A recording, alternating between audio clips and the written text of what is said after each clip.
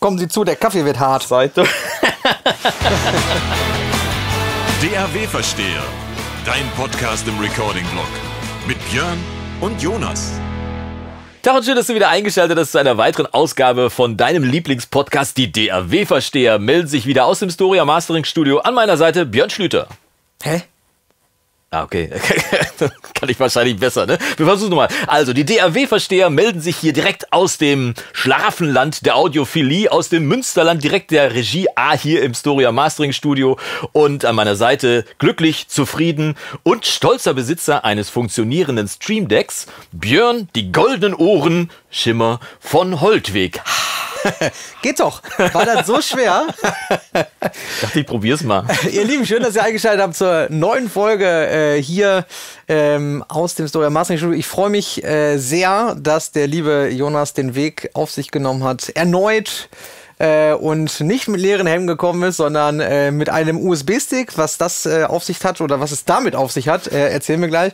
Und natürlich mit einer Tüte, äh, naja, halbleckerer Quarkbällchen heute, Ja. weil tatsächlich äh, mussten wir heute oder musste Jonas heute bei der Konkurrenz äh, einkaufen.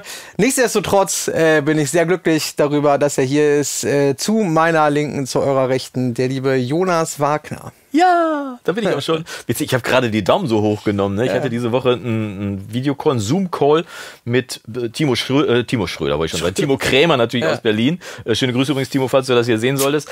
Und ähm, wir haben so den Zoom-Call und plötzlich poppt so unten im Fenster poppt so ein, so ein Emoji mit so einem Daumen nach oben auf.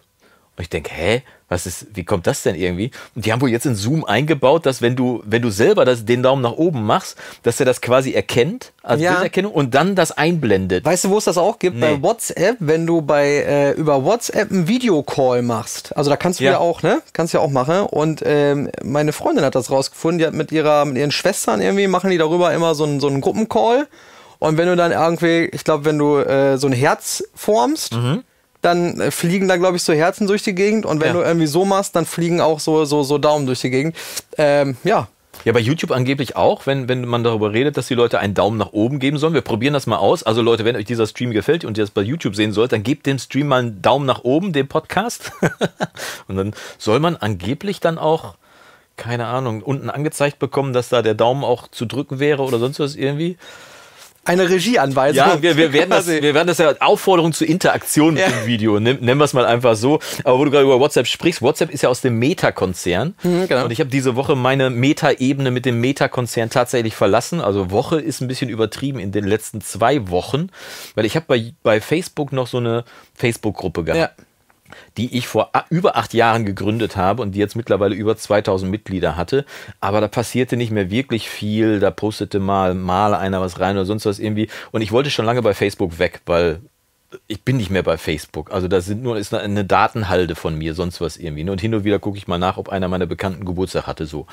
Äh, Und habe dann gesagt, da will ich jetzt dringend mal weg irgendwie und muss natürlich dann auch irgendwann diese diese Gruppe loswerden. Und äh, habe dann gedacht, naja gut, googelst du halt irgendwie, Gruppe Facebook löschen und dann kriegst du die Anweisung, dass du die Gruppe ganz einfach löschen kannst, indem du ganz einfach nur alle Mitglieder rauslöscht und wenn dann alle Mitglieder rausgelöscht sind, dann kannst du die Gruppe löschen. Ach, vorher nicht. Ja, pass auf. Händisch, Also, einzeln. Mit anderen Worten, ich habe also die letzten zwei Wochen damit verbracht, jeden einzelnen von diesen 2000 aus der Gruppe auszuschließen. Äh, Ist nichts Persönliches, Leute, falls ihr dabei gewesen sein solltet, nichts persönlich, ich wollte einfach nur die Gruppe schließen, hat nichts mit euch zu tun. Und dann jeden einzelnen, also ich muss den anklicken, auf Ausschließen und dann geht ein Fenster auf, da nochmal auf Bestätigen klicken. Jeder von diesen 2000 war also drei Klicks. Mit dem Ergebnis, dass ich dann so nach drei oder 400 wurde ich dann gesperrt von Facebook, Oh. weil ich zu viele Leute gelöscht habe.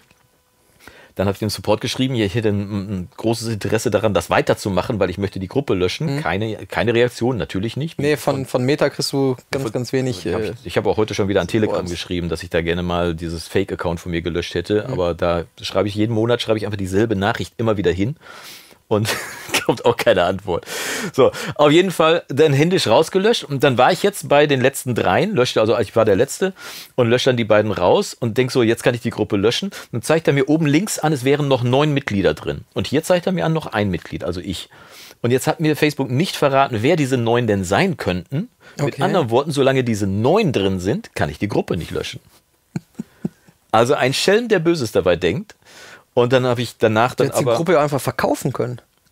Weiß ich, kann man Facebook-Gruppen verkaufen? Das ist ein ganz großes äh, Geschäft äh, tatsächlich in vielen Bereichen. Okay. Die, ähm, also ich sage jetzt mal, ob es das jetzt, mit Sicherheit wird es das in Musikbereichen auch geben. gibt ja riesige Gruppen, äh, Mastering Engineers Worldwide oder sowas. Ich weiß nicht, wie viele tausend Leute da drin sind. Ja. In anderen Bereichen, ich sage jetzt mal so die typischen ähm, Influencer-Gruppen oder eben auch äh, Themengebiete, Tipps und Tricks zum Nähen. Ja, weiß ich nicht, ob deine Frau da auch tätig ist bei sowas. Die hat eine eigene Gruppe, ja. Genau. Und du hast dann natürlich im Prinzip eine, eine Community, mehr oder weniger, bestehend aus Leuten, die genau das Thema Mastering, 100% das Thema Zielgruppe. 100% Ja. Zielgruppe. Und äh, du kannst natürlich zum einen äh, in der Gruppe dann arbeiten, Ja. ne? also äh, innerhalb dieser Gruppe. Und du hast natürlich auch die Namen, du kannst ja natürlich tracken, die Leute, du kannst natürlich sehen, woher kommen die, wie alt sind die, männlich, weiblich, schlag mich tot, Ja, was ja, haben die genau, sonst für ja. Interessen.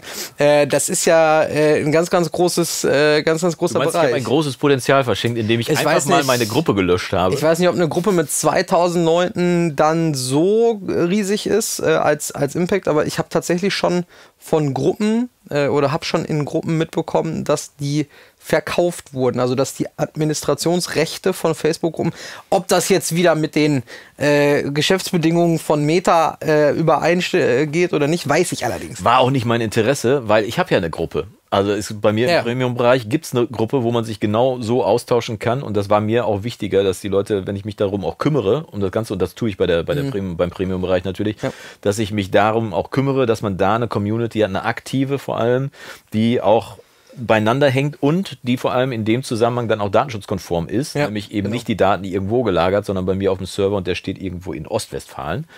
Ähm, nur um das mal zu sagen, also auch mein Anbieter von der Homepage ist in Ostwestfalen.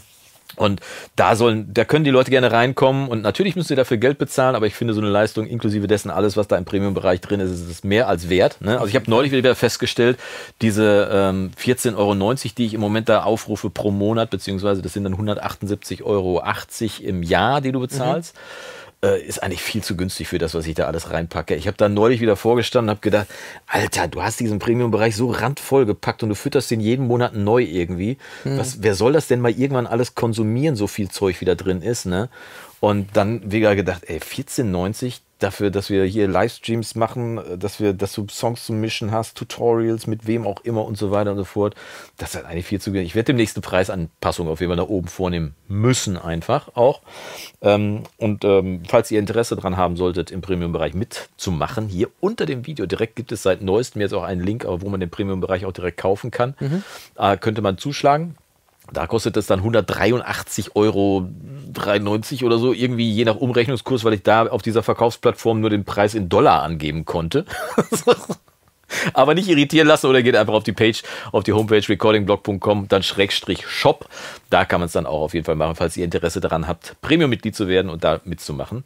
Und im Premium-Bereich, äh, da tobe ich mich jeden Monat so aus. Es ist einfach ein, ein Riesenspaß, da, da viele Dinge zu machen. Und wie gesagt, die Community, die sehr aktiv ist, wo man sich miteinander verschalten kann, wo neulich wieder ein paar Leute dazugekommen sind und wieder so einen Spaß daran haben, einfach mit Leuten über ihr Lieblingshobby zu sprechen und sich auszutauschen. Große Klasse. Ja, das ist auch immer, immer schön, Ja. wenn wir die monatlichen Mixkritik-Sessions und so da aufnehmen. unter das anderem. ganz, oder äh, jetzt äh, die startende genau. Mhm. Woche haben wir dann wieder die Mixbar, wo wir uns dann treffen, abends für zwei Stunden beim Bierchen und so weiter. Also man ist nicht Sehr schön. alleine im Premium-Bereich. Apropos ist, äh, ja. Community, wir hatten ja äh, vor zwei Wochen ja. so ein schönes Care-Paket hier mit äh, Bautzner Senf, Schokolade, Von Kaffee, Frank Sadlowski, nein, von Genau. äh, Safran, wie war der Name Safran noch? Pfande Schlosser. Ja, Safran Fande Schlosser. Vielen Dank, lieber Ja. Frank. Die Schokolade war köstlich. Ich habe sie sehr genossen. mir fällt gerade ein, Ja. ähm, der, wir haben ja äh, letztes Mal gefragt, woher kommt denn eigentlich der Name, ne? Ja, Safran. Ja, ja, ja. Und da hat er geschrieben, zum einen ist Safran ein exotisches, aphrodisierendes Gewürz, Ja. zum anderen vielleicht die Kombi aus meinem Namen, Fragezeichen. Ja. Schlosser weist auf den Beruf hin, mit dem ich in die wirtschaftliche Selbstständigkeit gestartet bin. Das ist aber top secret. ja, dann, Der Mythos soll ja erhalten dann bleiben. würde ich sagen, das bleibt unter uns. Ich, also ich wollte gerade sagen, wir sind ja hier unter Ja, uns. quasi. ne? äh, aber der liebe Frank oder, oder Safran van de Schlosser hat es ja als äh, öffentlichen Kommentar. Äh, deswegen glaube ich, das kann unter uns bleiben. Du meinst, das Und- war Ironie? Nein, das glaube ich nicht. Aber ähm, hast du denn in das Album reingehört? 30 Aber- plus. Aber natürlich habe ich reingehört. Äh, Ich bin tatsächlich äh, losgefahren und ich habe es schon gesagt, das, äh, im weitesten Sinne ist die Musik von Frank interessant zu nennen und zwar in jedem Bereich. Das ist wirklich extrem abwechslungsreich. Das stimmt, ja. Es ist, es ist genretechnisch nicht zu greifen und Frank macht einfach, was er will. Und ich finde, das macht er mit so einer, mit so einem großen Herz, was man da raushört und mit so einer, mit einer Glaubwürdigkeit, einer Ehrlichkeit, die mir einfach Authentizität. ja, genau. Aber die mir unfassbar Spaß macht. Und ich sitz original, ich fahre durch die Kasseler Berge irgendwie mit meinem Wagen, habe das Album drin, irgendwie fahre da durch und dann kommt diese eine Zeit, ich bin fast in die Leitplanke gedonnert irgendwie. Da singt er tatsächlich. Äh, da singt er, äh, alle Menschen werden Brüder, mir wären aber Schwestern lieber. Alter, ich bin fast weggebrochen vor Lachen. Ich habe das, ich konnte gerade noch das Lenkrad loslassen, damit ich es nicht rumreiße. Alle Menschen werden Brüder, mir wären aber Schwestern lieber. Ich finde, da gibt es insgesamt sehr viele poetische Momente. Also, äh, also unfassbar. Frank, großes Werk, auf jeden Fall Ja. definitiv. Und für alle, die jetzt Blut geleckt haben, äh, ich verlinke das Album mal unten. Ich hoffe, dass es auch bei Spotify oder sonstigen Ja, ja, genau. erhältlich ist. Äh, verlinkt das unten mal in den Show Notes oder unter dem Video, damit ihr da mal reinhören könnt und euch mal euer eigenes Bild machen könnt. Es ist wirklich sehr, also ich habe auch ein tolles Produkt geworden. Also auch mit dem Digipack und so. Super. Frank, da muss man schon sagen, äh, da hast du äh, nicht nur viel Zeit, sondern natürlich auch äh, mit Sicherheit viel Geld drin investiert Ja. in das Projekt. Äh, sehr, sehr cool und ich hoffe, ähm, dass das, äh, dass sich das dann auszahlt, jetzt nicht finanziell, sondern dann eben auch, dass du viele Leute mit der Musik dann erreichen kannst. ne? Absolut, wär- das ist, plus minus das null wäre ja schon nicht schlecht, wenn man da rauskäme. Ja. Ne? Aber bei dem zeitlichen Aufwand, den man heutzutage in so ein Album reinsteckt, vor allem wenn man, wenn man das so Stück für Stück für sich selber macht, der ist das schon immens. Ne? Aber der CEO von Spotify hat doch gesagt, äh, dass ähm, Inhalte zu erschaffen, Content Creation, ähm, quasi nichts, äh, quasi nichts kosten würde. Hat er ja äh, gesagt. Kostet, hat er gesagt. Ja, genau. Wen hat er denn da genau gemeint? Content äh, Creation, also Inhalte zu erzeugen, zu erschaffen, kostet ja heutzutage sozusagen fast nichts. Da habe ich auch gedacht, äh, Vielen ja, Dank, du Arsch. unterstützt du mal weiter irgendwelche Rüstungskonzerne oder investier mal in, weiter in irgendwelche Ja, aber du Rüstungskonzerne? siehst mal, wie weit weg solche Leute von der Realität kommen können. ne? Es gab ja damals diese Frage, es gab ein Interview zwischen Helmut Schmidt und Helmut Kohl. Die saßen Mhm. beide in einem Interview bei NTV oder sonst was irgendwie dazwischen, sagen wir mal, Michel Friedmann, der hat damals noch gearbeitet als, als Journalist. Und dann stellt er beiden, die beide waren AD, und dann stellt er beiden die Frage, äh, waren sie zu lange im Amt? Da hatte Kohl 16 Jahre abgesessen und, äh, und Schmidt war acht Jahre. Ne? Und Schmidt war ja wieder Willen gegangen, der ist ja dann über ein Misstrauensvotum äh, weggewählt worden. Und dann Frage an, äh, an Kohl, waren Sie zu lange im Amt? Weil ich hätte auf jeden Fall noch weitergemacht. Und, äh, Oh, das war gar nicht schlecht. ja, und, und Schmidt, äh, waren Sie zu lange im Amt? Äh, ich war schon viel zu lange im Amt. Ich habe den Bezug zur Realität verloren.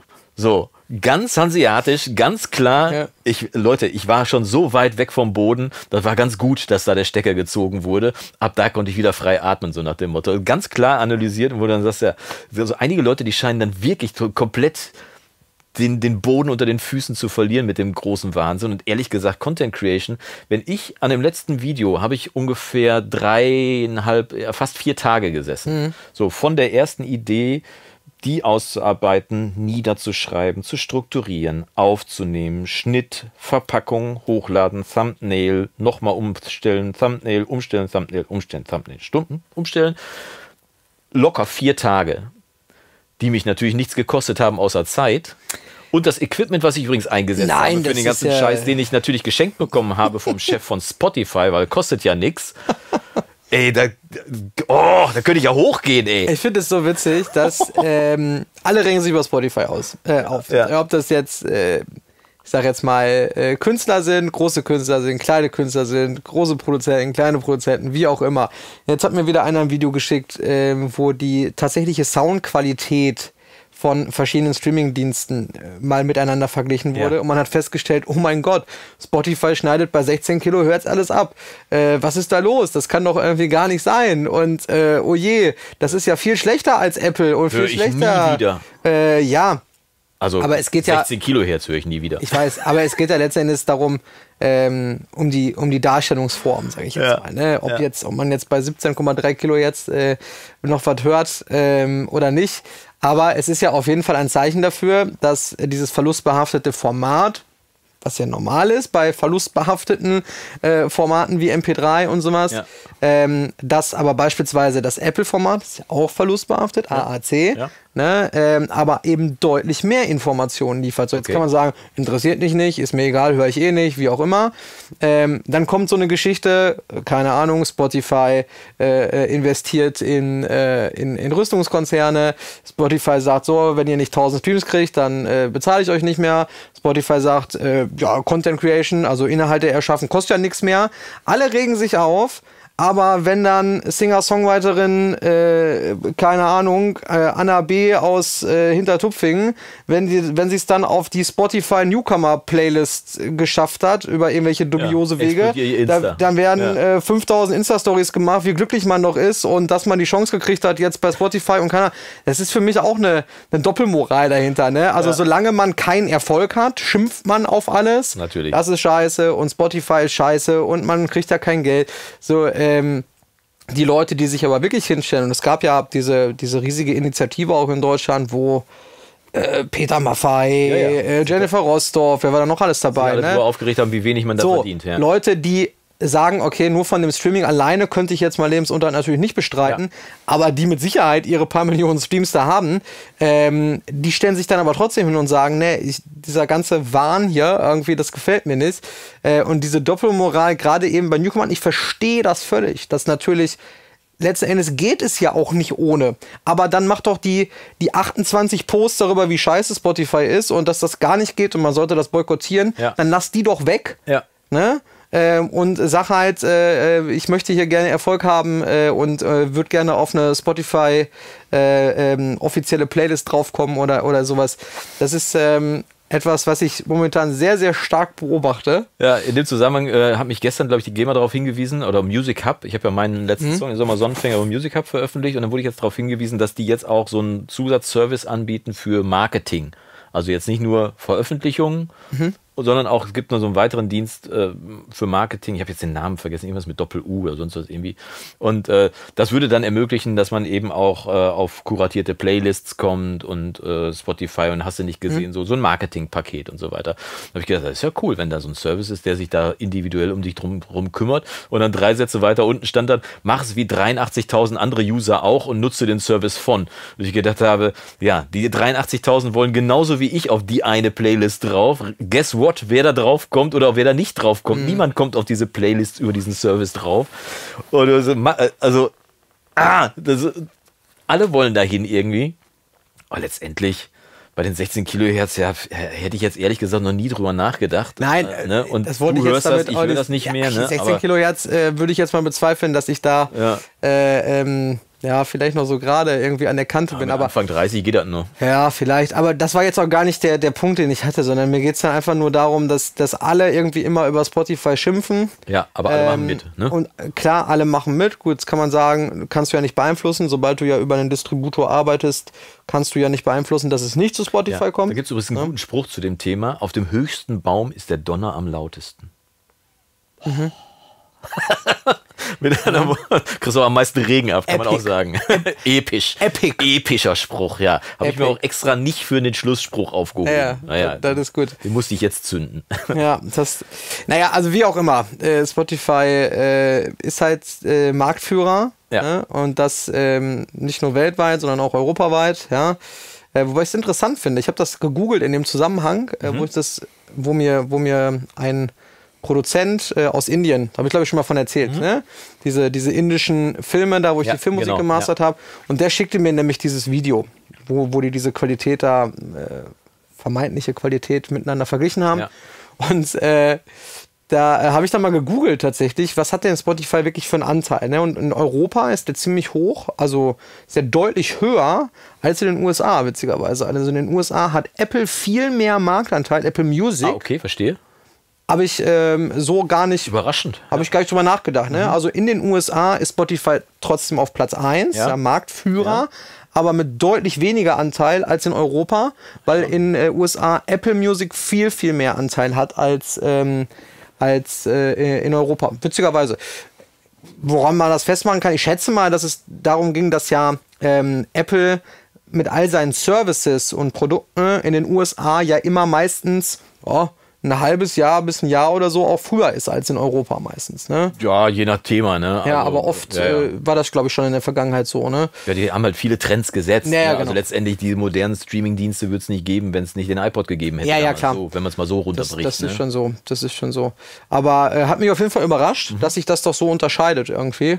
Ähm, ich kann nur sagen, ich bin total zufrieden äh, als, äh, als User von, von Amazon Music. Einfach aus dem Grund, weil man dort eben äh, verlustfrei auch streamen kann. Genau. Und wenn du, wenn du 100% sicher sein willst, dann gehst du halt zu Tidal. Das kostet dann halt irgendwie einen 20 im Monat, glaube ich, oder sonst was irgendwie. Aber Tidal ist genau das gleiche wie Amazon Music Ja? HD. Ja, Früher war okay. Mhm. Amazon Music HD eine Option und dann hat Spotify ja ganz groß angekündigt, vor zwei Jahren oder so, sie werden jetzt hier so ein verlustfreies, lossless Hi-Fi-Streaming, weiß ich nicht. Ja. Ist, glaube ich, mittlerweile eine der einzigen Anbieter, die es nicht drin haben. ähm, aber Ja, weil sie Amazon, nachgefragt ist, was meinst du, Genau. was die an Streamingkosten sparen, dadurch, dass sie die Daten nicht verschicken Genau. müssen? Und Amazon hat dann damals gesagt, ja gut, wenn Spotify das jetzt macht, dann implementieren wir Amazon Music HD einfach Gleich mit, mit, äh, ja, ja. rein. Und äh, genau, da kannst du dann auch bis zu, äh, je nachdem, wie das Format halt vorliegt, bis zu 192 Kilohertz, 24 Bit, wenn ich da richtig informiert bin. Lossless? Ähm, ja, lossless, klar. Ah, okay. Also unkomprimiert für die Leute, die Lossless nicht übersetzen können oder wollen. Ja, äh, verlustfrei. Ja, verlustfrei tatsächlich Wahnsinn. Also deswegen nutze ich das auch wirklich zum, äh, als, als Referenz und Ja. um äh, mich fortzubilden äh, in meiner täglichen äh, Arbeit, um Ja. zu wissen, was, was gerade so in den Charts passiert, was in verschiedenen Genres passiert. Ähm, Nicht schlecht. Also für den, auch für den Preis. Und äh, ich meine, es soll jetzt keine Werbung für, für Amazon sein. Nee. Ist mit Sicherheit auch kein Unternehmen, dem wir jetzt helfen müssen, äh, Geld zu verdienen. Damit der Chef Ähm, unter der Brücke pennen muss, Herr Genau, äh, damit er vielleicht, äh, oder der investiert dann vielleicht wenigstens nicht in irgendwelche Rüstungskonzerne. Wer weiß. Wer weiß. Ähm, aber äh, für mich ist das so vom Paket her, ich habe Tidal auch ausprobiert, ähm, weil ich mir letztes Jahr, äh, nee, Anfang des Jahres habe ich mir eine, eine Sache, äh, Soundbar. Soundbar, mein Gott. Ja. So, geholt. Mal, und ich wusste äh, es. Du wusstest das, ja, habe ich wahrscheinlich oft genug erzählt. Eine Sennheiser Soundbar. Und da gibt es eben äh, über dieses, äh, ich weiß nicht, wie das dann genau heißt, diese direkte Anbindung eben an Tidal. Ah, okay. Ähm, und Spotify, glaube ich, auch, aber da ich ja kein Spotify habe, ich probier's mal Tidal aus. Mhm. Äh, aber für mich hat es, hat Tidal keinen Vorteil jetzt gehabt, ähm, Akustischer. äh, akustischer Art, weil äh, Amazon Music eben auch ähm, ähm, Verlustfrei streamen. Ja, verlustfrei und äh, Dolby Atmos äh, auch kann. Genau. Atmos auch. Mhm. Okay. Genau, ist alles mit drin. Ja, Atmos habe ich mit Timo auch noch drüber, gesprochen diese Woche und äh, pff, wir haben beide festgestellt, einen alten Baum verpflanzt man nicht mehr. Wir, wir werden jetzt wahrscheinlich nicht mehr auf Atmos umrüsten. Ich hatte ja meine Euphoriephase. Ja, ich, ich Kurz. Ihr könnt ja gerne mal eure Meinung auch drunter schreiben hier unter das Video oder in die Kommentare, wo auch immer das geht irgendwie. Aber ich habe ehrlich, ich bin da so ambivalent, weiß ich. Ich sehe, dass das, wir haben mal drüber gesprochen. Es klingt anders, ne? Aber ob es das besser macht, habe ich noch nicht entschieden. Weil wenn ich ehrlich gesagt, sagen wir mal, ich höre mir das neue Scorpions-Album an, nicht, dass ich das machen würde, aber ich sagen wir jetzt mal so, ne? Und äh, dann kommt das Schlagzeug, steht hier so alleine vor mir vor der Nase und die Gitarren sind aber hinten rechts und links hinter meinem Kopf, wo ich dann denke, ja, aber wenn ich beim Live-Konzert bin, dann sind die ja auch nicht hinter meinem Kopf, die sind dann da vorne und ich hätte gerne diese Musik so gehört, wie ich die auch auf der Bühne sehe, ne? Und auf der anderen Seite verstehe ich natürlich dieses, dieses Surround-Ding, sonst was irgendwie, aber ehrlich gesagt, meine Welt ist es nicht. Ich habe das gerne im Film. Im Film finde ich das super, wenn was von hinten nach vorne fliegt oder sonst was irgendwie, ne?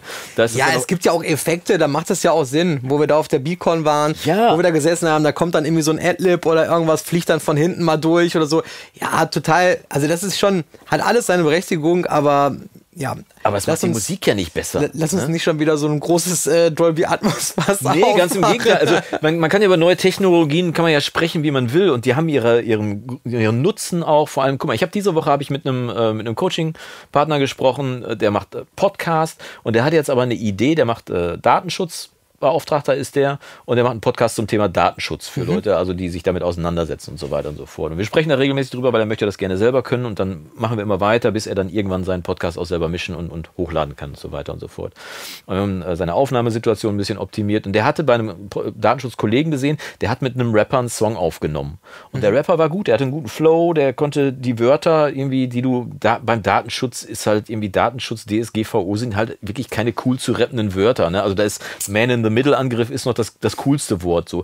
Der hat das aber gut verpackt und jetzt hatte der Kollege dann gesagt, er hätte da auch Bock drauf, ihm ist spontan so eine Textidee eingefallen mhm. und hatte sich dann von mir ein Video rausgesucht, wo ich vor fast zehn Jahren ein ziemlich aufwendiges A Cappella von einem Madcon-Song gemacht habe. Mhm. Kann man auch noch bei YouTube finden irgendwie. Da habe ich mich x-fach aufgenommen, also nicht nur akustisch und dieses riesen A Cappella mit, ich glaube, 100 Spuren oder 150 Spuren gemacht.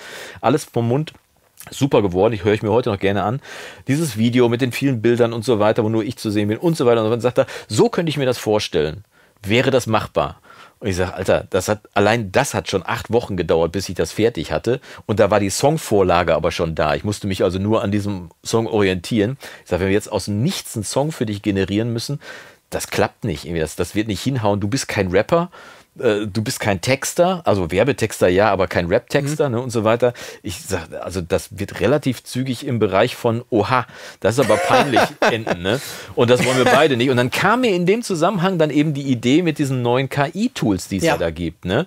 Wo ich ihm dann gesagt habe, weißt du was, das ist ja auch thematisch. Du bist Datenschutzbeauftragter, also ITler, dann kann man das thematisch ja auch machen. Und für Leute wie dich ist das dann auch gemacht, dass du dann halt der KI über einen Prompt sagst, pass auf, ich hätte gerne einen Song wie Eminem, der soll ungefähr so und so drücken und das sind die Wörter, die ich erzählen möchte. Dann mhm. gibst du deine Textidee rein und hinten kommt der fertige Song raus. So, dafür ist das gemacht, aber nicht dafür, dass jemand wie ich, der Gitarre spielen kann, der KI jetzt erklärt, wie er den Change von C auf D-Dur haben möchte, mit äh, dem Feeling von, was weiß ich, Bradley Cooper oder sonst was irgendwie. Das ist ja alles Unfug irgendwie. Mhm. Und, äh, und trotzdem die Erkenntnis, dass ich gestern Abend mit meinem Kumpel Jan Löchel zusammengesessen habe und wir beide festgestellt haben, das, was da rauskommt, ist leider schon verdammt gut. Irgendwie. Wenn du dem sagst, ich möchte möchte einen Country-Song haben und so weiter, dann kommt da auch ein Country-Song bei raus. Nicht, dass das jetzt die Erfindung der Musik ist, die Neuerfindung, ne? das ist natürlich nur ein Aufguss von allem, was schon Klar. da gewesen ist.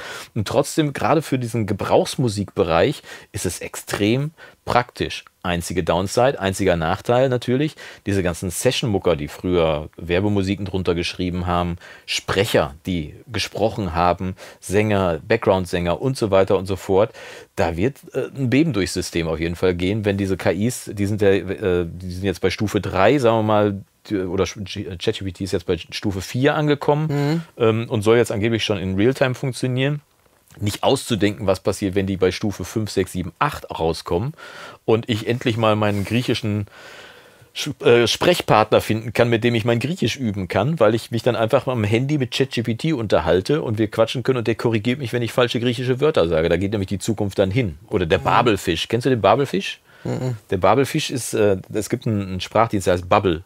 Ja. Und ich glaube, der Name kommt vom Babelfisch. Ähm, per Anhalter durch die Galaxis, sagt dir das was? Ja, sagt mir was, ja, habe ich immer nie gesehen. Ziemlich abgefahrene Science-Fiction-Buchserie mhm. auf jeden Fall. Und da gab es halt in diesem Universum von Per Anhalter durch die Galaxis, gab es diesen Babelfisch, den steckt man sich ins Ohr und dann hat er sich so quasi als Symbiose mit dem Hirn verbunden und äh, der hat halt sich ernährt ausschließlich von Schallwellen. Und das war eben Sprache, die er dann quasi als Ausschussprodukt als in deine Sprache übersetzt hat. Also du konntest dann jede Sprache der Welt verstehen, wenn okay. du dir einen Babelfisch ins Ohr gesteckt hast. So. Ach so. So, jetzt hat Opa aber genug vom Krieg erzählt. Irgendwie. Ja, aber, also ich, ich, Aber das geht demnächst. Das wollte ich nur sagen. Ja. Also es wird wahrscheinlich so weit kommen, dass du die Earbuds irgendwann drin hast und du kannst dich mit deinem tschechischen, griechischen, kyrillischen, sonst was irgendwie, äh, kyrillisch ist, äh, was ist das eine Sprache? Kyrillisch? Ja, ich glaube wohl. Die, die Schrift ist kyrillisch. So. Äh, das kannst du dich mit einem Russen unterhalten, mit einem Ukrainer, mit einem sonst was irgendwie und du kannst in Realtime mit dem quatschen und verstehst den. Ist schon sexy, oder nicht? Ja, gut. Äh, ich sag mal, KI ist ja solange es eine Hilfe wirklich ist, ein es ist ja, äh, es ist ein Werkzeug, genau. Ja. Es gibt ja dieses Zitat, was ich zumindest momentan sehr, sehr häufig irgendwo im Netz und so immer wieder sehe. Ähm, ich möchte, dass äh, KI äh, meine, sich um meine Wäsche kümmert und äh, meinen Haushalt schmeißt und keine Ahnung, während ich mich äh, meiner Kunst äh, und meiner Passion hingeben kann. Ich möchte nicht das Gegenteil. Also ich möchte nicht, dass äh, KI sich um meine Kunst und um meine Leidenschaft kümmert, während ich halt die Wäsche wasche und die Spülmaschine einräume. ähm, letzten Endes. Schönes Bild. Ja, genau. Aber letztlich bringt es das ja ganz gut metaphorisch auf den Punkt. Ne? Also ja. ähm, ich glaube auch, dass viele Leute, die sagen, ja, das wird hier früher oder später, weiß ich nicht, Mastering ist ja auch immer wieder so ein Thema. Ne? Gut, das ist schon seit, weiß ich nicht, 10, 12 Jahren dieses E-Mastered und Schlag mich ja, tot äh, Zeug. ja, da wurde auch gesagt, ja, jetzt ist hier Der Untergang des der Abendlandes, Untergang, genau. ne, der noch drei Jahre, dann gibt es das irgendwie alles nicht mehr. Aber es wird immer gleich bleiben. Auch bei KI wird es ja immer gleich bleiben. Es, es wird, natürlich wird das besser. Viel, viel besser, gar keine Frage. Ich habe auch ein bisschen Angst davor, was noch alles passiert. Jetzt nicht Angst um meinen Job, sondern äh, so generell Respekt davor, was das, äh, was das alles kann. Ja. Äh, wenn, die, wenn die Roboter irgendwann uns übernehmen. Nein. Ähm, aber es wird immer nur etwas Gelerntes sein. Also, ne, natürlich, unser Gehör, unser Geschmack, unsere äh, Sachen sind auch gelernt, aber trotzdem entscheide ich ja immer noch aus einer Emotion raus. Und jetzt wird mit Sicherheit irgendeiner drunter schreiben, ja, aber das soll ja KI dann auch lernen und so.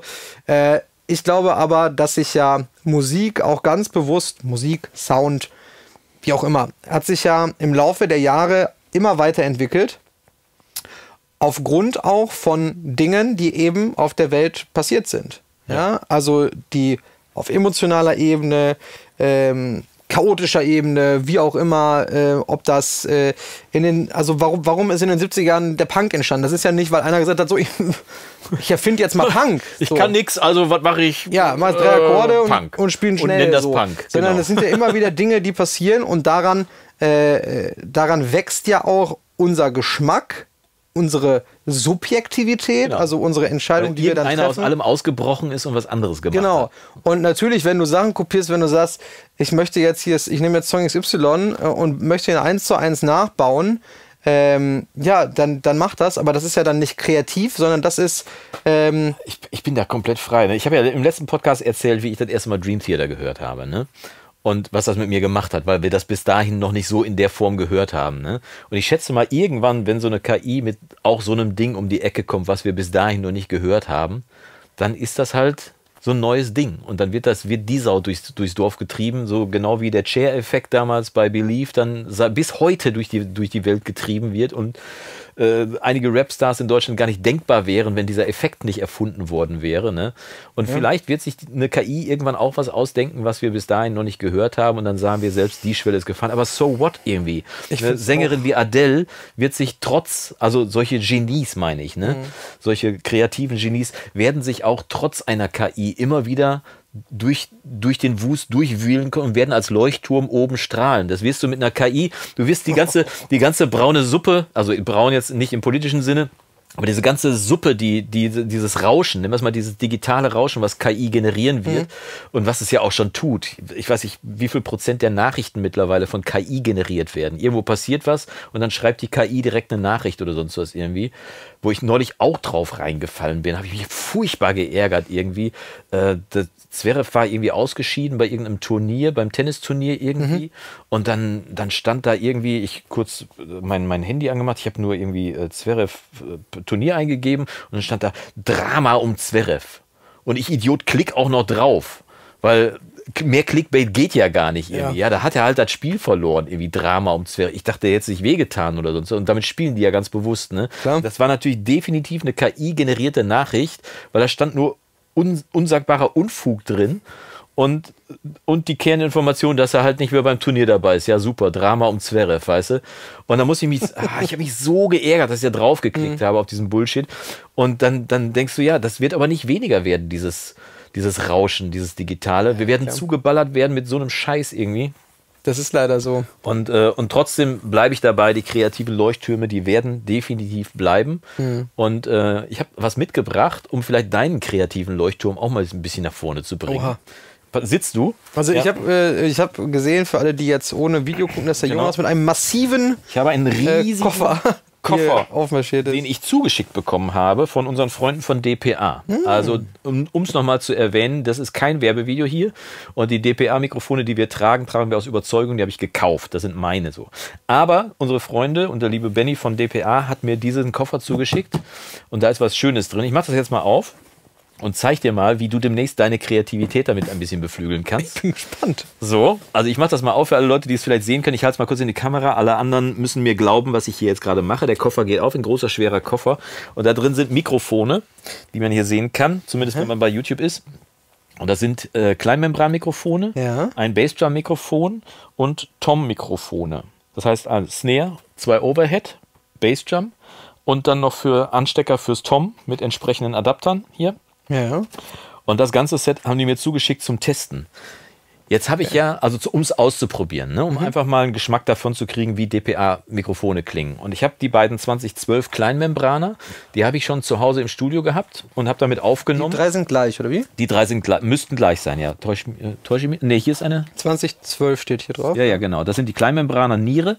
Und ähm, ich würde diese jetzt mal äh, verantwortungsbewusst bei dir lassen, Mhm. Um dich als audiophilen Trommler mal zu fragen, wie dir das gefällt, das Set. Disclaimer an dieser Stelle, das ist unfassbar teuer und ich, Ich würde mir das sagen, wo, nie wo kaufen. liegt man da? Weißt ich du das? glaube, aus das kostet oder? 4000 Euro. Ich habe mich allerdings beim letzten Mal ja auch mit meiner Preisaussage getäuscht. Also meine KH 310. Bei den Neumännern stimmt, ja. ja. Die kosten, die kosten ein Stück 1800 Euro oder so die Ecke. Also nicht 3000, wie ich letztes Mal fälschlicherweise gesagt habe. Aber dieses Set ist jetzt nicht günstig. Ja. Aber im Sinne der, der Klangqualität, die dabei rauskommen soll, soll es klasse sein. Und wie gesagt, die Kleinmembran, die 2012, habe ich schon ausprobiert an einer Akustikgitarre und war ehrlich gesagt komplett geflasht. Das war wirklich, habe ich auch nicht so erwartet, weil ich bin ja, ich bin ja eigentlich nicht so ein audiophiler Typ und mir reicht auch eigentlich ein Slate ML2 aus, dieses, dieser Kleinmembran, Ja, ja, ja. 460 Euro. Ne? Aber es äh, wird es auch dem nächsten Video geben, wo ich die 2012er gegen das ML2 probiere und das 2012 kostet 800 Euro und im Also Pärchen ist irgendwie das quasi 15 so oder die, die Range vom Neumann KM 184, ne? Genau, da ist das auch anzusiedeln. Ja. Das ist kürzer als das KM 184. Mhm. Deswegen werden diese Mikrofone, ich stelle die jetzt mal hier vorne hin, äh, die werden auch auf dem Klassikbereich benutzt, weil die halt sich quasi klein im sind. Bild versenden, weil Ja. die so klein sind und weil die aber tot, trotzdem toll Hast du klingen. 184er? Nee, ne? Nee, habe ich leider. Du hast 183er, ne? Ne, ich habe 183 und 184. Okay, dann könnte man die sogar nebeneinander halten, wenn Ja, man das das wollte. wäre vielleicht mal ganz interessant, ne? Ja, aber wie gesagt, ich äh, übergebe das Set jetzt einfach mal Ja. vertrauensvoll in deine Hände und bin beim nächsten Mal oder übernächsten Mal gespannt, falls du damit aufgenommen haben solltest, was du sagst, wie dir das gefällt, wenn du, wenn du mal wieder Drums aufnimmst. Und äh, nochmal, das ist fernab von jedem Heimstudio-Budget oder sonst was irgendwie, ne? mit, mit über 4000 Euro für ein, oder korrigiert mich, falls ich jetzt wieder Unfug erzählen sollte bei Preisen. Ich bin da nicht so gut, genau wie bei Namen. Aber äh, leider. Aber das, äh, das kommt schon in die Range rein ungefähr. Ne? Wobei natürlich trotzdem sagen muss, ich sag mal, klar, 4000 Euro, gar keine Frage. Ja. Also, dass das, dass das viel Geld viel ist. Geld ist, ja. So, ne? Aber wenn ich jetzt überlege, ähm, das Setup, mit, mit, mit dem man, äh, oder mit dem ich jetzt aufnehme, wenn ich da jetzt die Preise zusammenrechne, ja, komme ich vielleicht nicht auf, äh, ah, wobei doch, komme ich letzten Endes auch auf vier. Äh, äh, vermutlich. Du hast natürlich hier äh, bei, den, bei den Toms direkt auch äh, die Möglichkeit, die zu klippen, dran Ja. zu klippen dann. Ne? Ja. Natürlich auch mal rechnen, dass du keine Stative dann hast und so. Ja, klar, DPA ist jetzt kein, äh, ist jetzt kein Low-Budget-Kram. und handmade in, in Dänemark. Dänemark, ne? ja, Also genau. jetzt nichts irgendwie China-Ware oder sonst was irgendwie, sondern wirklich handmade unterm Mikroskop gelötet. Und ich habe die kaputten Mikrofone, habe ich auch äh, unserem lieben Freund Benny äh, zugeschickt. Der hat die dann mit nach äh, Dänemark genommen. Da gibt es vielleicht auch nochmal eine Information dazu, Ja. wie die da arbeiten in der Werkstatt. Also, aber wie gesagt, ich habe keine Ahnung. Ich habe noch nie mit mit äh, ich habe mit DPA-Mikrofon schon gearbeitet, Ja. aber nur mit diesen ähm, mit dieser Serie, die im Prinzip äh, ich schätze, dass das diese Tom-Mikrofone auch sind. Ich weiß nicht, ob es da so große Unterschiede gibt in diesen Clip-Mikrofonen von DPA, aber es, es gibt tatsächlich leider auch, muss man da wieder sagen, es gibt einfach nichts Besseres, um, ähm, um akustische Instrumente, gerade Bläser, auf der Bühne äh, mit so einem Mikrofon auszustatten. Ne? Also da habe ich auch schon von Sennheiser, Audiotechniker, Schuhe, alles Mögliche gehabt. Im Preisbereich äh, von, von Thomann gibt es ja so eine, so eine eigene Serie, Ovid-Serie heißt die, glaube ich. Kosten speziell für Bläser dann? Nee, nee, das Clip, ist oder? einfach nur so ein Clip-Mikrofon, Ja, okay. wo es für verschiedene Instrumente, für Kontrabass, für Gitarre, für Cello, für Flöte gibt es Halterungen. Das heißt, du kaufst einmal das Mikrofon und Mhm. Achso, dann kannst ist dann. der Hals äh, unterschiedlich lang oder. Nee, nee, das einfach geht um die so? Halterung, wie, du, Okay. wo, wie du das an das Instrument dran machst. Okay. Ne? Und ich glaube, die kosten 99 Euro. Damit habe ich auch schon ein paar Mal gearbeitet, wenn verschiedene Ensembles oder so jetzt halt sagen, wir haben eigene Mikrofone. Ja. Ne? So, die kaufen sich dann halt, brauchen dann halt 15 Mikrofone. Ja, so, die kaufen sich dann das 900. Das geht auch. Ne? Das ist genauso, du kannst auch live super gut mit einem Behringer X32 mischen. So, das ist, natürlich geht das. das Geht, ist, geht das alles. also, Heut, geht auch. gerade heutzutage. Geht ne? auch gut. Ja, ja. Keine Frage. Ne? Aber ähm, gerade wenn ich, äh, wenn ich jetzt zum Beispiel mit einem Ensemble arbeite, wo ich wirklich 10, 12 Clipmikrofone bei 10, 12 Bläsern oder so habe, Ja. da merkst du dann doch den Unterschied, äh, natürlich mehr. halt, ne? Wenn du jetzt eine, eine, eine, eine Band mit einer, mit einer Brass-Section hast, irgendwie Saxophon, Posaune, Trompete, ja, dann drehst du halt mal ein bisschen äh, an den, am EQ und so, dann, dann kommst du da auch hin. Wenn du aber nachher 10, 15, 20 äh, Leute hast, äh, da merkst du dann schon einen riesigen Unterschied, wenn du solche Mikrofone dran hast. Das ist leider, leider ist das fast in jedem Bereich Und so. das bügelt keine KI weg. Da kannst du machen, was du willst. Da kannst du- so, kannst du machen, was du willst. Aber wie gesagt, um das mit der KI wäre jetzt übertrieben, aber um das auch zu zeigen, wie groß der Unterschied oder ob da überhaupt ein großer Unterschied ist, wird es halt dieses Video geben, wo ich dann halt eben das DPA 2012 in Ermangelung, vielleicht leihe ich mir dann dein Neumann auch noch aus, dann habe ich drei äh, Mikrofone, aber es würde eigentlich reichen mit dem 2012. Dann nehmen wir nur das 2012 und das ML2. Ne? Dann hast du ein Mikrofon in der 800 Euro Range und du hast ein Mikrofon in der 160 Euro Range, aber mit diesem Plugin dabei, womit du dann simulieren kannst, so weiter und so fort. Und ähm, dann bin ich mal sehr gespannt, wie groß der Unterschied ist, ob da ein Unterschied ist, weil wenn keiner da wäre, wäre schlecht für, für, für DPA. Ne? Und wenn der da ist, dann wird man sicherlich das feststellen können. Meine ersten Aufnahmen damit haben auf jeden Fall einen Riesenspaß gemacht mit dem 2012 und haben mich wirklich überrascht. Habe ich nicht erwartet, Ja. weil es toll klang. Und Aber, deswegen bin ich sehr ja. gespannt, was du sagst am Schlagzeug, weil ein Schlagzeug ist ja nochmal was anderes als eine Akustikgitarre. Ne? Absolut. Also ganz andere Pegel, ganz, andere, ganz anderes Bild, ganz anderes Instrument. Deswegen bin ich auch gespannt, weil, weil wenn es ja wirklich dreimal das 2012 ist, identisch, Mhm. wie sich das dann, ich meine, ein Kondensatormikrofon an der Snare ist der absolute Knaller. Aber Stichwort Knaller kommt natürlich dann auch drauf Da an, Dampf ob das, äh, ob das jetzt äh, eine Jazz-Session wird oder ob das jetzt äh, Ja, die nächste ist, ja. Rock- äh, oder, oder, oder sowas Session Ja. ist. Da bin ich wirklich mal gespannt. Würde ich tatsächlich vorher auch mal kurz googeln, was für ein, äh, was für einen maximalen SPL der hat, weil ich habe jetzt keinen äh, Patch-Halter oder ähnliches gesehen. Also das Set ist explizit für Drums Ja, ausgerichtet. okay. Da kannst du davon ausgehen, dass da nichts läuft. anbrennt tatsächlich. Nicht, dass ich nachher ein Mikrofon äh, Und wenn, dann ist es, wäre es auch nur ehrlich zu Test sagen, pass auf, nicht Leute, bestanden. das hat leider nicht funktioniert. Äh, Äh, apropos, äh, wo wir über Intention und so auch gesprochen haben, also äh, in dem ganzen Ding, es gab, äh, deswegen nehme ich nur mal mein Handy in die Hand, bevor ich das vergesse, nämlich beim letzten Mal noch quasi eine Frage, wenn wir beim letzten Mal auch mal wieder, äh, wir haben ja so ein paar, so ein paar Hauptthemen, ne, wo wir immer wieder die Schublade aufmachen. ja, nutzt ja nichts. Aber ist ja auch, ist ja auch schön, ne? Und vor allem schreiben ja auch immer ganz viele drunter, ja, ist nicht schlimm, wenn ihr euch wiederholt, weil ist ja vielleicht auch schon zwei Jahre her oder Ja, weiß ich ja. nicht, ne? Ähm, und der Steve Borg hat, äh, ich hoffe, ich darf das jetzt so sagen hier, der, der geschrieben, verstehe ich jetzt nicht. Ähm, da ging es um den Low-Cut, äh, weil ich gesagt habe beim letzten Mal, glaube ich, so irgendwie im, im Wortlaut, so dass es keinen Sinn macht, einfach prinzipiell immer Low-Cut drauf Auf die Seiten drauf zu packen, genau. Ähm, Ja. Nee, ich glaube, es ging jetzt so generell um Low-Cut. Nee, du, ne? hattest, du hattest gesagt, es äh, ging äh, darum, dass du gesagt hast, es gibt so Empfehlungen im Netz, wo gesagt wird, du musst auf jeden Fall im Mittesignal äh, oder in der Summe musst du auf jeden Fall bei 24 Hertz einen Low-Cut Ja, setzen genau. und auf den Seiten bei 150, sonst ist dein Bass nicht tight. Genau, und er hat So. geschrieben, er, er macht zum Schluss immer ein Low-Cut bei 30 Hertz und die Anregung ähm, hätte er äh, von dir, ähm, das zu machen. ähm, ja, und, und Jonas hat, ich kann so viel verraten, ich habe, stimmt, hat er gesagt. Und äh, passend dazu, äh, um, um das Thema kurz aufzumachen, hat dann der 00 Schneider. Sehr, sehr, schöne Filme. Ähm, bezüglich der physikalischen Gesetzmäßigkeiten gefragt, die wir immer andeuten. Äh, auch dann eben was im Bassbereich, Phasenprobleme, Low-Cut etc.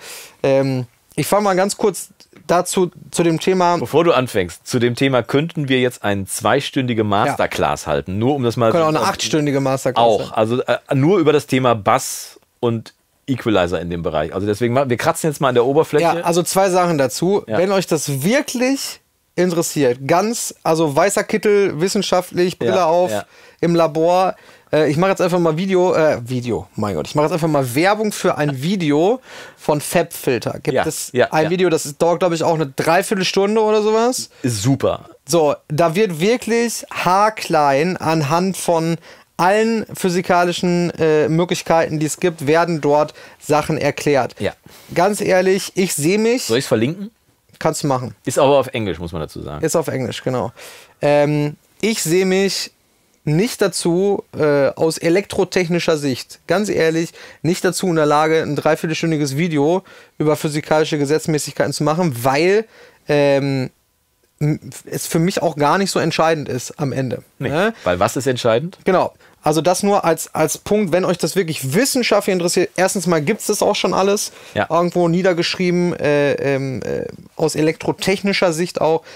Das ist auch nicht der, der Bereich des Podcasts oder dafür ist der Podcast auch nicht gedacht. Ein Unterhaltungsformat So, hier. also das, das dazu. Dann, um zu dieser 30-Hertz-Geschichte zu kommen. Ja.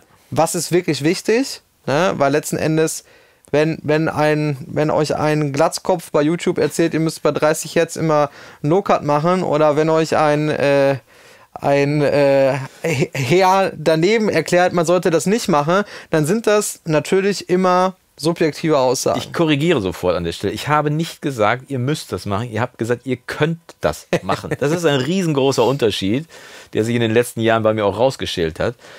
Wir bleiben dabei. Wir fassen das jetzt direkt, wir brechen das jetzt an der Stelle Genau. direkt ab und fassen es zusammen. Fassen zusammen. Wenn du einen guten Grund dafür hast, das zu tun, einen Low-Cut bei 30 Hertz zu setzen, dann ist es eine gute Entscheidung, das auch zu machen. Vollkommen. Beispiel, ich stehe am Mikrofon beim Sommer Sonnenfänger. Ich habe jetzt gerade hier das Vocals-Kapitel im Premium-Bereich veröffentlicht, wie die gemischt worden sind und höre die Vocals zum ersten Mal seit langem wieder solo ab und höre, wie ich mit dem Fuß stampfe währenddessen. Haben wir nicht rausgeschnitten, ist drin geblieben. So. Wenn sich diese Vibration auf den Mikrofonständer überträgt und ich die ganze Zeit ein zum Schlagzeug konkurrierendes Genau. habe, dann macht es sehr viel Sinn, Ah, äh, das mit einem Low-Cut wegzuschneiden, weil das ist keine, keine relevante Information für den Song und würde dafür sorgen, dass es untenrum vielleicht nicht ganz so tight ist. So. Ein, einer meiner Lieblings-YouTube-Kanäle, ich Ja. sag jetzt mal keinen Namen, Ja. ja, äh, hat äh, nichts mit Tontechnik zu tun. Ähm, also wirklich Videos, wo ich, wo ich Fan, wo ich Abonnent, Fan bin. Ne? Von, Grillen. könnte sein, weiß ich nicht. Ähm, auf jeden Fall ähm, benutzt der auf seinem Lavalier-Mikrofon keinen Low-Cut. So, und dauernd, ich sitze jetzt vorm Fernseher mit meiner heute schon angesprochenen netten Soundbar und du sitzt da, ja, heute pum, also, pum, und Und der Subwoofer macht immer so einen Sprung zur Seite. ja gut, ich habe ja noch nicht mal einen Subwoofer dran an der, an der Soundbar, aber ich kriege innerlich dermaßen Unruhe, dass, Ich, Unruhe. dass, ich, dass ich schon immer denke, ich, jetzt gehe ich, geh ich auf Instagram oder, oder auf YouTube, jetzt schreibe ich denen eine Nachricht und sage, pass auf, mein Freund, ich finde deine Videos so geil, schick mir doch einfach beim nächsten Mal mal deine Tonspur. Ich mache das fertig für dich, weil es mich so ärgert, weil es ja wirklich etwas ist, ähm, was man vermeiden kann. Ja, ne? habe ich tatsächlich unter ein Video drunter geschrieben. Habe gesagt, super Video, Jungs, richtig gut, Mhm. tut uns allen gefallen, beim nächsten Mal bitte einen Low-Cut zu setzen. Ja. Dann müssen wir nicht die ganze Zeit mit diesen Plopplauten durch die Ja. Gegend marschieren. Ja. So, ne, wie du schon gesagt hast, wenn du eine Intention hast, ne, also wenn du ein Problem identifizierst, ne, es geht ja immer darum, Probleme zu identifizieren und die zu lösen oder geschmackvolle Entscheidungen zu treffen, zum Beispiel sowas wie, ich hätte meine Stimme gerne viel, viel mehr, mit viel mehr Luft oder Ja. ich hätte sie gerne so fett wie möglich oder ich hätte sie gerne äh, ein bisschen edgy, aggressiv Ja. in den Mitten. So, das sind ja alles Sachen, die ich identifiziere und die ich dann bearbeite. Genau. So, und prinzipiell zu sagen, es geht ja nur um dieses Prinzip. Immer, das mache Ne, das mach ich don't immer. don't d- nicht drüber nachdenken, mach an, mach dein Template Ja. auf und hau mal auf, auf die Stereosumme mal einen Low-Cut bei 30 Hertz. Das, diese Aussage kann man sagen, gleich Quatsch. Ja. Zumindest wenn, also wenn ich in dem Video gesagt haben soll, dass ich das immer mache, dann korrigiere ich, ich ergänze an dieser Stelle noch. Ich habe vor acht Jahren auch andere Dinge erzählt als heute. Ne? Also ich habe auch zum, zum Low-Cut ein durchaus differenteres Verhältnis mittlerweile aufgebaut, als ich das noch vor acht Jahren hatte. Äh, und da auch viel, viel Wissen und, äh, und so weiter aufgebaut und ergänzt. Und ich glaube, das letzte Mal über Low-Cut habe ich tatsächlich vor acht Jahren gesprochen. Ne? Äh, und müsste da tatsächlich, ihr habt recht, dann müsste ich in dem Zusammenhang mal noch ein Video dazu machen. Mir wäre aber viel wichtiger, dieses Video wirklich zu sagen, wenn du eine Entscheidung triffst, dann mach es mit einer Intention. Denn auch der Low-Cut bei 30 Hertz kann auf dem Masterbus durchaus Sinn machen, wenn du nur 808 hast, die bis 0 Hertz quasi runtergetuned ist irgendwie und da unten rumwummert und dir einfach deinen Limiter zerstört. Dann kann ich aber auch den Low-Cut auf die 808 setzen. Kannst, richtig, ja, kannst du auch mal, ja, genau richtig. Ne? Absolut. Äh, Also äh, nochmal, also mein, mein Low-Cut-Bashing Ja. bezieht sich ja nicht auf den Low-Cut an sich, Als- als solcher. sondern äh, es geht nur um dieses Low-Cut auf der Summe. Ja. Ne? Äh, dass man sagt, äh, ja, und wenn ich dann alles gemischt und dann äh, mache ich auf der, auf der Summe halt prinzipiell einen Low-Cut bei Frequenz XY.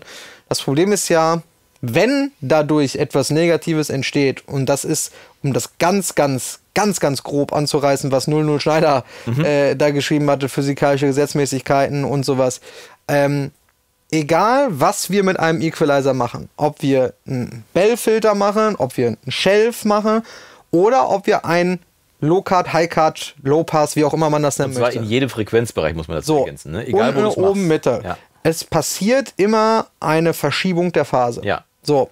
Und früher, wenn ich hier so schaue äh, auf meine Geräte, Die analogen. da ist nichts linearphasig oder Nein. sowas. So. Das heißt, da passiert natürlich auch diese Phasenverschiebung. Und meistens, das ist wieder meistens, Schrägstrich, oftmals, Ja. Schrägstrich, manchmal, hat alleine das auch schon eine positive Auswirkung. Ja, also eine Phasenverschiebung Kann. ist also nicht etwas, was per se schlecht ist. So, also es kann durchaus auch etwas Charmantes, äh, Positives haben. Es kann, so, und deswegen physikalische Gesetzmäßigkeiten, was ein Gesetz ist, es äh, passiert eine Phasenverschiebung Ja. oder eine, eine leichte Verschiebung der Phase. Ähm, umso zum Beispiel schmaler du den Bellfilter machst, umso schlimmer oder umso größer wird das. Heftiger. Und beim Filter ist es auch so, wenn du jetzt einen Filter mit 6 dB per, äh, per Oktave nimmst, ist es viel weniger, als wenn du jetzt so einen, weiß ich nicht, 36 dB Filter oder sowas Die da ganz nimmst. oft bei den Fettfiltern genommen wird. So, also umso aggressiver du vorgehst, sei es schmaler äh, mit, mit einem Bellfilter oder sei es eben äh, aggressiver mit der, mit der Flankensteilheit des Filters, umso größer ist die Phasenverschiebung. Und ob das jetzt, ähm, ob das jetzt unbedingt einen hörbaren Effekt hat, also einen negativ hörbaren Effekt, das liegt komplett an dem Oder Material. auch einen positiven hörbaren Effekt. Es ist wirklich Es hat einen Effekt und dann musst du entscheiden, ob das der Effekt ist, den du haben willst oder den du nicht haben willst. Die Frage ist immer, wenn ich kein, oder nicht die Frage, sondern die Intention sollte immer sein, habe ich ein Problem Ja. bei äh, unterhalb von 30 Hertz oder, oder generell, was ich damit jetzt äh, äh, bearbeiten möchte oder nicht. Ähm, und da gibt es dann ja auch noch ganz viele verschiedene Möglichkeiten, das anzugehen. Aber wenn wir mal, wenn wir mal einen Strich drunter ziehen, viele Dinge, diese von diesen Gesetzmäßigkeiten, die man auch hört. Ich meine jetzt nicht, dass du da eine Gesetzmäßigkeit aufgestellt hast. Nee, ich, ja hab- ich, hab- ich habe da noch eine Ergänzung zu gleich. Ja, genau. Ich gleich. Äh, ähm, viele Dinge beziehen sich ja oft auf Bereiche, die mal mindestens 50 Prozent der Leute, die darüber sprechen oder nicht die darüber sprechen, sondern die das dann hören oder, oder konsumieren, gar nicht hören können. Nee, ja Weil wer kann in seinem äh, Homestudio wirklich sagen, 30 Hertz kann ich bei mir hier wahrnehmen oder, oder kann ich wirklich ähm, auch auf einer, auf eine, in, dem, in dem balancierten Verhältnis wahrnehmen. So, die wenigsten. Also ich sage jetzt mal, ich glaube 50 Prozent ist schon sehr, sehr äh, hochgegriffen. Ne? Ähm, genauso, wenn wir dann über Sachen bei vermeintlich 40 Kilohertz sprechen oder sowas. Ne? Das kann keiner von uns hören. Ähm, also nicht verrückt machen lassen Also- von irgendwelchen Sachen, von irgendwelchen Wenn die. Fledermäuse in der Nachbarschaft von alleine kippen, dann hast du Genau. ein bisschen zu viel reingedreht. wenn, der, wenn die Hunde an zu jaulen fangen äh, in der Nachbarschaft. Ja, pass auf, ich, ich sag zum Low-Cut noch was. Also Ja. ich habe ganz am Anfang habe ich das tatsächlich äh, propagiert und gesagt, Low-Cut auf alles außer Bass und Bassdrum. So, und habe dann im Verlaufe der Zeit äh, gelernt, dass das eine Regel ist, in Anführungszeichen eine Regel, die gerade den Mix-Einsteigern sehr helfen kann, aufgeräumtere Mixe zu machen. Ich habe aber auch gelernt, je erwachsener und je erfahrener du im Mix wirst, umso gezielter oder auch umso gezielter setzt du den Low-Cut ein, eben oder nicht. Ne? Das heißt, am Anfang ist es eine Hilfestellung, gerade mit solchen eher engeren Regeln durch die Gegend zu laufen, um dann irgendwann an den Punkt zu kommen, wo du sagst, alles klar, und jetzt habe ich das soweit verstanden, ich höre das auch, was da passiert, und jetzt kann ich mich davon ein bisschen, kann, mich, kann ich mich emanzipieren von der Regel Ja, und kann das jetzt weitertragen. Das heißt also nicht, dass auch diese Nummer, auch das mit dem, mit dem äh, Monomaker oder mit dem, mit dem summierten Bass unterhalb von 100 Hertz ist auf jeden Fall ein adäquates Mittel. Aber auch da, das kannst du wollen, dann sagst du, ich möchte mal, dass mein Bass immer summiert ist und, und äh, stabil in der Mitte steht und so weiter. Bitteschön, super. Ne? Äh, du kannst aber auch sagen, nee, möchte ich nicht. Ich möchte den total fetten, breiten Bass haben und wenn der sich, wenn ich auf die Mono-Taste drücke, wenn der sich komplett auslöscht, mir doch egal. Ich möchte, dass der in Stereo so richtig fetzt. So. Bitteschön, deine Entscheidung. Ne? Äh, da äh, habe ich einen ganz interessanten, Sch äh, wie nennt man das immer, Schulterschluss, ne? Ja? Schulterschluss? Mit? Äh, mit unserer neuen äh, Rubrik. Ja. weil äh, da gibt es dieses Phänomen nämlich auch. Ist dir das aufgefallen? Mir ist da was aufgefallen. Wir haben nämlich, wie versprochen, auch wenn es jetzt schon, ist ja schon spät heute, Ja. aber nichtsdestotrotz haben wir ja eine neue Kategorie, Jonas. Ja, mit dem Namen. Song des Monats. Und zwar heute geht es um meinen Song. Genau, also Song des Monats Genau. heißt ja, wir sind zwei und wir treffen uns zweimal im Monat. Das heißt, äh, Jonas hat einen Song des Monats und äh, ich habe einen Song des Monats. Also in der Regel. Manchmal passiert es auch dreimal, aber dann haben sich die Daten so verschoben, dass man einen 31-Tage-Monat hat, wo wir uns dreimal treffen. Das aber nur am Rande. Ja, tatsächlich, wir, wir haben in Ermangelung der Plug-Influencer, dass uns nicht mehr so viele Plugins einfallen, die wir ständig im Einsatz haben. Genau. Und wir wollen ja nicht einfach über irgendwelche Plugins reden, sondern wir wollen über die reden, die wir auch im Einsatz haben. Das heißt, partiell wird es natürlich immer wieder Plug-Influencer geben. ich glaube, beim nächsten Mal habe ich wieder eins. Sehr gut, freue ich mich schon drauf. Und dann will er sich nur um seinen Song drücken. Äh, alternativ dazu sprechen wir halt über den Song des Monats. Und ich habe den großen Vorteil, dass ich im Premium-Bereich eben die Rubrik Wir hören Musik haben. Und diese Rubrik hat eine ganz große Absicht, nämlich den Leuten näher zu bringen, auf wie vielen verschiedenen Ebenen ich Musik höre und was mir dabei auffällt und jetzt nicht zu zeigen, was ich für ein cooler Dude bin, sondern einfach zu sagen, Aber was, auch. Ah, natürlich, also hallo, können diese, können diese Ohren lügen, können diese Füße fremd gehen? Natürlich nicht. Ähm, nein, nur einfach zu zeigen, wie sehr diese vielen Ideen, die ich in diesen Songs höre, mich inspirieren für meinen nächsten Song. Und einfach sagen, guck mal, das ist eine Idee, die da habe ich da gehört, die fand ich sensationell. Das ist eine Idee, die habe ich da gehört. Das ist ein Arrangement, was ich vom Ablauf jetzt einfach mal cool, cool fand, was ich so, deswegen, wir hören Musik, ich erzähle, was mir auffällt, was da besonders cool ist an dem Song und den Song, den ich für dieses Mal ausgewählt habe, der ist von der Band Benson Boone und heißt Beautiful Things und ist ein Song erstmal in, aus der Kategorie Band, was ich schon mal gut finde. Ne? Also das ist eine echte Band, die da spielt und das Interessante ist halt, dass sie in diesem Song, also erstmal haben die den Song so angelegt, habe ich auch in, in diesem Video gesagt, den so angelegt, dass der Sänger per se schon mal aus seinem Komfortbereich raus ist. Das heißt, der singt nicht in, in der Tonhöhe, in der er spricht. Und er hat eine große, in diesem Song geht es um eine große Liebe, einmal um seine große Liebe an seine, sein, sein aktuelles Leben, das jetzt deutlich besser verläuft als noch vier Jahre vorher. Und dann verbunden mit einer großen Angst, dass das alles weg sein Dass man das könnte, verlieren kann, Dass man ja. das wieder verlieren kann. Ja. Und diese Angst hörst du in wirklich jeder Zeile, die der singt. Und du hörst es vor allem wegen der Energie, mit der er singen in Anführungszeichen muss, weil es eben nicht sein Wohlfühlbereich ist, wo er dann sagt, ja, die letzten vier Jahre war gut und jetzt ist aber besser und ich habe aber Angst, dass mir das einer wegnehmen kann. So. Nein, der Mann singt am Limit und dadurch kommt eine, eine Energie rüber, dass du dem wirklich jedes verdammte Wort abkaufst und sagst, Alter, der hat eine riesen, der hat einen riesen Schiss, dass das alles, was jetzt gerade gut läuft, und zwar besser als vor vier Jahren, dass das weg sein könnte. Und diese Energie, diese Glaubhaftigkeit, diese, auch das, diesen, diesen Text, ich habe dann für das Video habe ich den Text dann auch übersetzt und habe den Leuten das eingeblendet, damit die Leute, die nicht Englisch sprechen, auch verstehen, wovon der Gute singt. Irgendwie, ne? Weil einfach mir das so wichtig war, dass dieser Song, boah, also Du hast ja auch noch über, äh, hast du mir auch noch erzählt, über den Aufbau, also des Songs. Ja, der Aufbau ist erstmal ganz klassisch irgendwie, fängt mit, äh, mit, mit Strophe, Refrain, äh, Strophe, Zwischenteil, Refrain. Ich meine jetzt das, das Besondere für ja, warte, dich ich komme gleich ne? dazu. Also Strophe, Zwischenteil, Refrain. Äh, Strophe, Zwischenteil, Refrain und dann habe ich vergessen, wie es weitergeht. Also, Schreibt euch das auf. Nicht, dass ihr das wieder vergesst. Breakdown und nochmal noch mal ein Refrain. Interessant ist halt, der Song ist, ich habe das durchgetaktet, der ist von vorne bis hinten erstmal mit 70 Beats pro Minute aufgenommen Mhm. worden. Wo man erstmal sagen würde, wenn du den Song hörst, würdest du nicht glauben, dass sie zum, zum Klick eingespielt haben. Mhm. Haben sie aber, vor allem, weil der Gitarrist immer so ein bisschen ums Metrum drumrum spielt Mhm. und der Sänger auch so ein bisschen drumrum singt. Es wirkt also sehr organisch, obwohl ganz klar die 70 BPM von vorne bis hinten durchlaufen. Und dann halt eben der interessante Part, dass also dynamisch gibt es auch noch einen riesen Aufbau und ich möchte jetzt nicht alles erzählen, was ich in dem Video erzähle. Ähm, das ist nämlich im Premium-Bereich, hier unten übrigens käuflich zu erwerben, so viel Werbung muss sein, ähm, dass die Strophe mit einem Vierviertel äh, Feeling, du kannst das besser erklären als ich, ich äh, also du, in der Strophe zählst du eins und zwei und drei und vier und und Das nennt man binär. binär und im Refrain zählst du 1, 2, 3, 2, 2, 3, 3, 2, 3, 4, 2, 3. Man tenär. Das heißt, wenn du die, die grobe Zählzeit nimmst, dann ist es immer 1, 2, 3, 4. Und das, was aber dazwischen stattfindet, ist eigentlich der spannende Teil, weil dadurch, dass das eben der, wie war das bei, dem, bei der Strophe, beim Refrain? Ternär? Okay, ne. Also das äh, äh, letzten Endes ist die, die Strophe ist ein Viervierteltakt.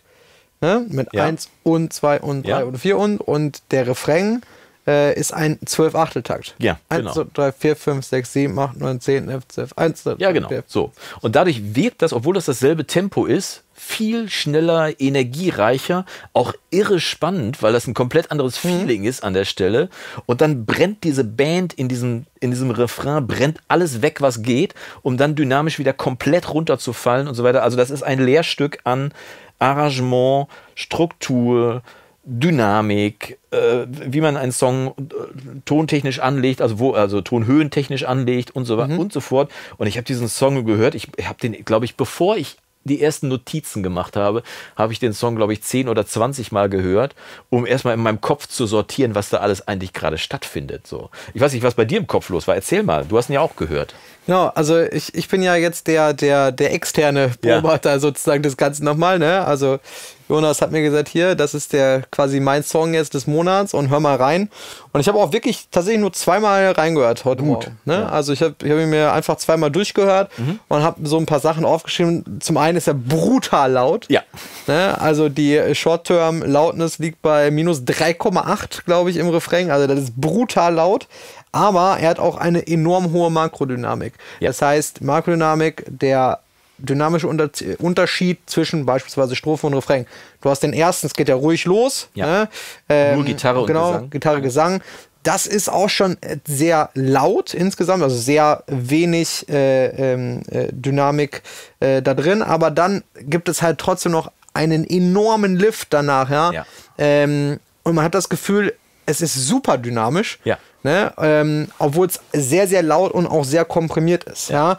Ähm, was, was mir aber direkt aufgefallen ist, äh, natürlich auch mal wieder so äh, ein paar Sachen, die, die mir da nicht so gut gefallen, äh, ist halt, dass du ein enorm hohes Grundrauschen hast.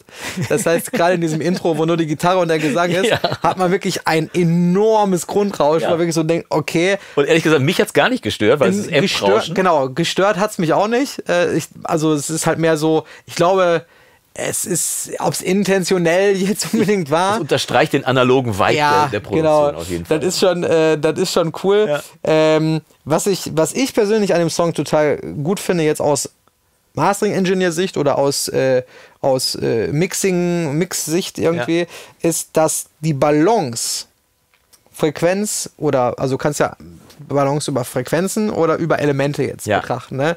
Und äh, da fällt zum einen auf, dass der Fokus immer zu 100% auf dem Gesang liegt. Ja. Ja? Egal, was da passiert. Ob jetzt drumherum eine Akustikgitarre ist oder eine Band, die äh, darum konkurriert, äh, äh, wer jetzt noch lauter spielen kann oder wer mehr Energie reinbringen kann. Das heißt, du hast immer in den Mittenfrequenzen die Hauptbalance. Genau. Du hast keinen übertriebenen Bassbereich, du hast keine übertriebenen Höhen, die irgendwie sonst alles äh, irgendwie, äh, äh, kaputt machen oder jetzt auch nicht übertrieben viel eher Luftigkeit, sondern es ist wirklich die Mitten und ich sag ja auch immer, in, der, in, der, in den Mitten liegt eigentlich die, die Wahrheit, Magie. Äh, die Magie. Ne? Ähm, genau, und was ich super gut gelungen finde, sind die Vocal, ist der Vocal Sound, Ja. weil er singt sehr, sehr, ich hab, was habe ich mal aufgeschrieben, High Energy Performance. Also er ist ja wirklich immer an der Kante. Und eine extrem charakteristische Stimme. Genau, Ne? Das ist aber keine von der Stange. trotzdem klingen die Vocals immer weich Ja. und eingebettet. Ja. Das heißt, das liegt natürlich zum einen daran, dass die Vocals unheimlich komprimiert sind Ja. und auch mit Sicherheit äh, noch den Limiter gut beschäftigen am Ende, weil die Vocals sind auch mit Abstand das lauteste Element. Ne? Äh, das heißt, äh, klassischerweise geht da nicht die Bass und die Snare Limiter, sondern äh, sehr, sehr viel auch die Vocals. Deswegen ist auch so ein bisschen wie bei Vincent so vom, Ja, vom ja. Mischen her, ne? dass meistens die Elemente, dann die gar in- nicht in die Kette rein. Genau, die, Ja. die gar nicht diese, diese Transienten beinhalten, sondern mehr so äh, die Energie. Und da ist es wirklich so, die Vocals kommen total rund und weich, obwohl er da quasi sich den Hals, äh, der, die Lunge aus dem Hals schreit. Ja. Äh, mega gut. Äh, und wo ich den Schulterschluss eben meinte, das noch als Abschluss, äh, ist die Stereobreite. Ja. Äh, weil du ja eben auch sagtest, äh, von wegen kannst du den Bass auch mega stereo machen.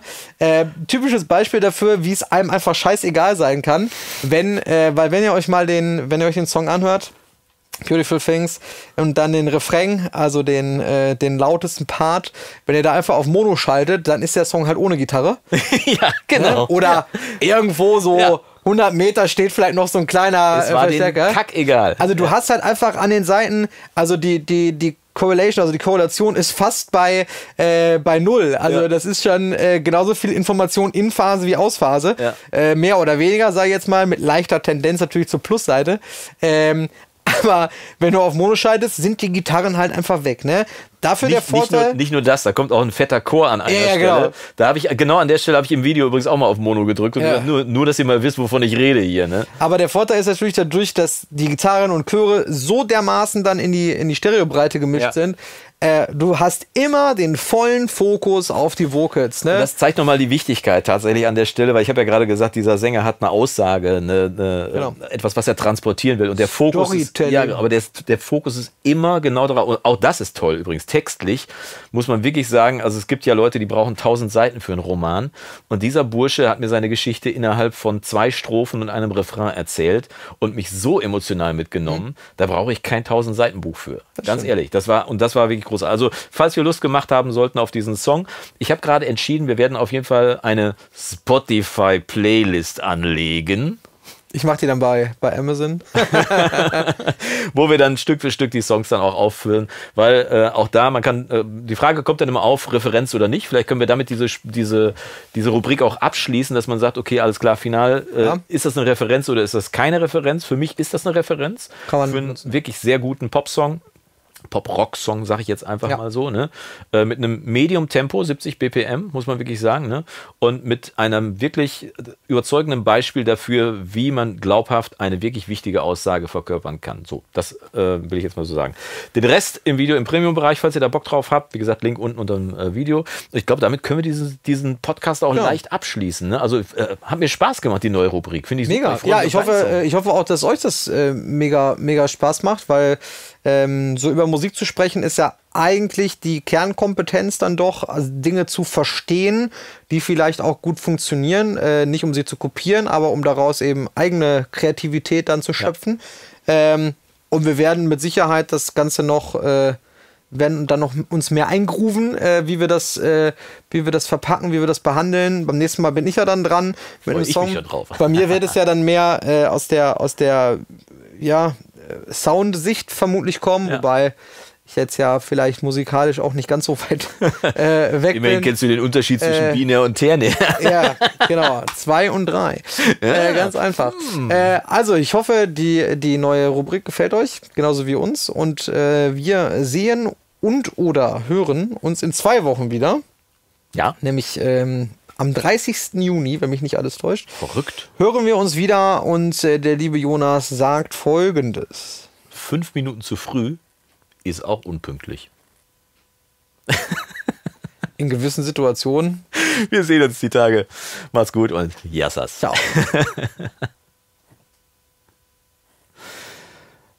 Juli. Fand ich gut.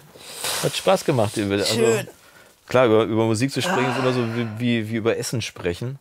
So, wenn du es nicht mitschmecken kannst. Ne? Deswegen ist es vielleicht ganz gut, wenn die Leute den direkt danach hören können, den Song.